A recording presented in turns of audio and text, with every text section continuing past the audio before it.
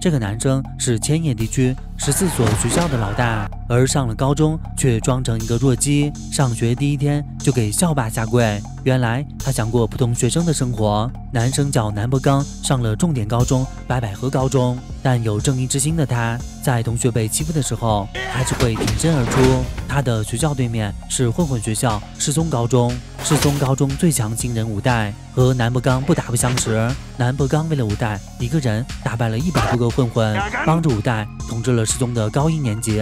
但他呢，被世宗二年级的老大。大猪盯上了，他是个三百多斤的拳击手。由于每次打架，南不刚都穿着特工服，于是大柱悬赏十万要找到特工服男。大柱看面相就不好惹，球杆用力一挥，手下赶紧拍马屁：“大哥，好球啊！”大柱一看地上的球还在，我只是练习挥杆，你小子鬼叫什么？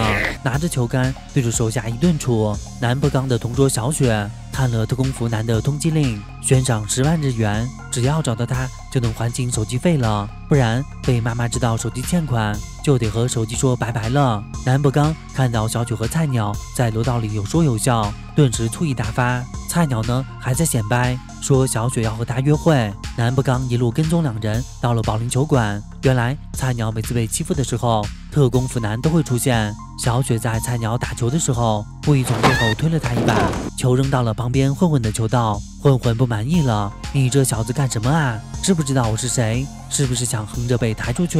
赶紧赔钱！”小雪看到几人围着菜鸟搜身，让他把钱包交出来。小雪环顾四周，周围都是普通的客人。小雪握住双手祈祷：“求你了，特工服男，快出现吧！”一旁的菜鸟呢，已经被混混举起来，眼瞅着就要被轰飞。没办法，小雪只能硬着头皮上，主动承认是自己的错。突然，远处一个声音打断了小雪说话：“南博刚穿着特工服来了。”小雪内心狂喜，太好了，成功了！小雪躲在柜子后面，拨打通缉令上的电话，可对方表示必须要知道特工男的真实身份才能给奖金。小雪转头看，南博刚自带气场，只是上前说了一句：“你们几个家伙叽叽喳喳，吵死了！”那些混混就吓得屁滚尿流。菜鸟见自己大哥来了，上前拍马屁：“大哥，你刚才比五条悟还帅！”没想到南木刚对着菜鸟的头就是一掌，蠢货，快点给我滚！等到大猪到了保龄球场，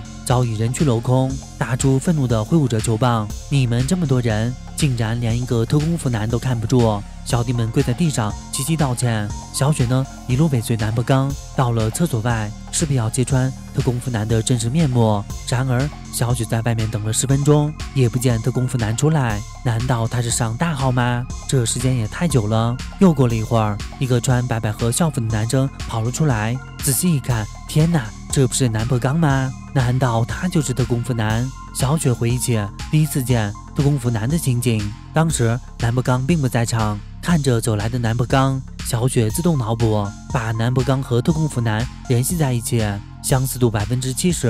看来南博刚很有可能就是特工服男。五代把通缉令给南博刚看，提醒他最近小心点，不要被抓住了。南博刚邀请五代去家里吃饭，这一家子人一个比一个狠。老爸南破胜年轻时是千叶地区最强混混，老妈南破直美是最强大姐大。大哥南破猛是称霸关东地区的老大，小妹南破银子是变脸大师，就连家里的狗子南破松都是狗中一霸。妈妈端出一盘炸鸡招待五代，连吃饭都这么霸气。看着家里的氛围，五代更能理解为什么南破刚不敢告诉家人自己的双重身份。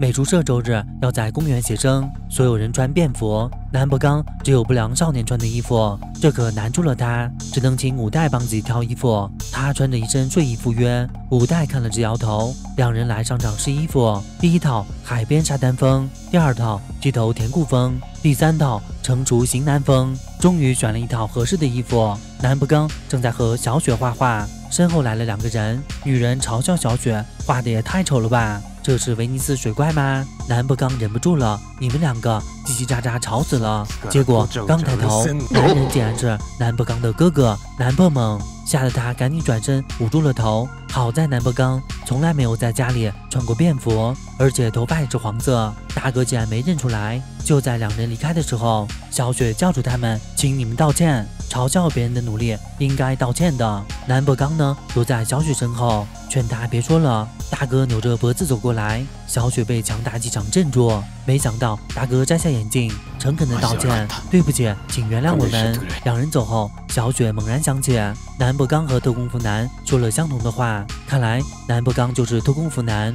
小雪再次打电话，表示自己知道了特工服男的真实身份，但他呢没有直接说出来，见面后才能告知，让对方拿上十万块。小雪询问南博刚：“你是不是特工服男？”南博刚赶紧否认。小雪还是不信，故意和混混找茬：“喂，你们几个挡路了！”混混被激怒：“你知道我是谁吗？”小雪还在拱火：“管你是谁，反正是一群笨蛋！”混混怒了，上手就要打小雪。南博刚及时抓住混混的手。小雪呢，这下更加确信南博刚就是特工服男。得知了特工服男的位置，大猪带着小弟出发，这次绝对要杀爆你！这话呢，刚好被一旁的五代听见。仓库里，大猪戴好拳套，没等南博刚说话，就一拳揍到脸上，手下都在旁边欢呼。大猪更来劲了，朝腰子猛地一挥，最后一拳打脑袋，南博刚倒在地上，没了知觉。就算这样，大猪也没放过他，继续打南破。小雪看不下去了，他这样会被打死的，跑上去用书包打在大猪背后。大猪呢，按住小雪的头，把她甩倒在地。你这个蠢女人，吵死了！看到心爱的女孩被打，南博刚要爆发了，大喊着：“揍完你们，我的高中生活就结束了！”大猪上前就要动手，就在这时，手下拦住大猪。门口进来一个穿着特工服的男生，大猪眼睛都亮了：“你终于来了！”手下率先出手，特工服男一个罗汉拳拿到首杀，无影脚拿到双杀，重拳锤头拿到三连杀，小雪都看懵了。看来南博刚不是特工服男，特工服男摆出经典姿势，我要火力全开了，受死吧！南博刚这才看清，原来是五代穿上他的衣服，三百斤的拳击手大猪上前，左手挡住攻击，右手勾着五代原地转了一圈，五代回击，一拳打在大猪身上。这手感就像打在城墙上，大猪稍微抬下手，五代就被打得后退三米。南博刚劝他别打了，可五代不认输，冲上前接着打，但在绝对力量压制面前，五代只有被打的份。大猪抓住地上的五代，朝他脸上连续出拳，眼看五代扛不住了，就在这危急关头，南不刚大吼一声：“喂，我就是你们要找的功夫男！”话还没说完，忽然警察来了。手下一窝蜂跑走，被警察抓住的大猪放下狠话：“下次我绝对要干掉你！”五代躺在椅子上，被路过的菜鸟看到，原来大哥长这个样子。菜鸟给五代戴上口罩：“大哥，你放心，我一定会保护你。”听到有人来了，菜鸟伸出胳膊阻拦，原来是南不刚来了。南不刚叫菜鸟去买水，看着五代受伤的脸，南不刚满是歉意：“都怪我，是我连累了你。”五代表示。这是报答在你家请我吃炸鸡的情谊，并且劝告南博刚不要惹大猪，他的实力真的强。回到家的南博刚看着满是血的口罩，发誓绝对不会放过大猪。南博刚从大猪手下知道他在哪儿，到了地点呢，却看到小雪。原来他向大猪举报自己的身份，大猪上前抓住小雪的头发：“你这个蠢女人，现在竟然说不知道是谁！”抬手把她甩飞。手下看小雪这么可爱，想和她玩色色，几个人挑逗小雪，小雪大骂：“你们这群人渣！”眼看小雪就要被带走，就在这危急关头，南博刚大吼一声：“你这个垃圾，今天就做个了结吧！”大猪笑了：“你这个家伙，竟然还上门送死！”手下给大猪戴上拳套，我看你是好了伤疤忘了疼，忘记被揍得鼻青脸肿了吗？大猪开始冲锋，两人交手那一刻，南博刚抓住他胳膊。骑在大猪身上，大猪疼得学猪叫。南破把他拳套拆下来，用这种东西算什么最强？原来拳套里竟然有钢板。南破刚要徒手掰弯钢板，手下觉得他一定是疯了。南破刚脸都涨红了，额头上的青筋正在暴起，脑海里想起五代的笑脸，他被揍的场面还历历在目。南破刚爆发洪荒之力，把全身的力气都集中在手上，把拳套扔在地上，里面的钢板竟然被他掰弯了。手下全部吓傻，这是什么怪力？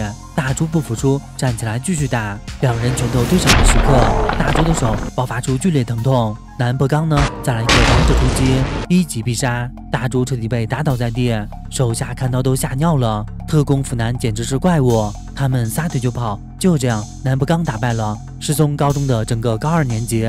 就在南不刚离开的时候，小雪叫住他，给他道歉，随后再次化身唐僧，在一旁碎碎念。南不刚受不了了，啰嗦死了，你个丑八怪！小雪呢，受到暴击，转身痛哭。人家这么可爱的女孩，竟然被说丑八怪，南不刚这才意识到不对，悄悄溜走了。南不刚来到五代家探望他，五代妈妈直白的表示，不要找我家五代做坏事。五代反驳道：“老太婆，不要对我朋友说教。”南不刚站起来，打了一下五代的头，怎么能叫妈妈老太婆？快道歉！妈妈很是欣慰，五代有这么好的朋友，留南不刚在家里吃饭，简直太美味了。南不刚刚解决完大猪，另一个高中混混从少年管教所放了出来，他脸上的伤是五代打的，看来又是一场苦战。我们下期接着讲。本片叫南破 MG 五，本期问题：大家觉得南破刚和五代谁更厉害呢？选南破刚的扣三个一，选五代的扣三个二。南破刚虽然表示自己只想当一个普通高中生，但他遇到霸凌的事还是会出手。果然，刻在骨子里的正义 DNA 是改不了的。本片好看，推荐去看原片。好了，本期内容就到这了，记得给波乐点赞，还有关注和订阅。我们下次见啦，拜拜。